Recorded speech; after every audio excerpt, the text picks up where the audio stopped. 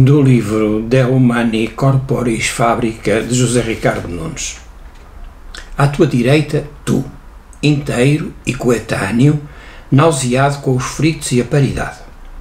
E também tu à esquerda, repentinamente jovem, muito antes de ser possível distinguir a causa do efeito, antes do salto.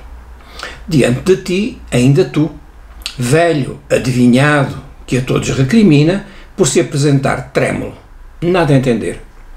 E mesmo atrás de ti, intemporal, continuas a ser tu quem prepara e há de servir a refeição, e levantar a mesa, e deitar os restos para o lixo,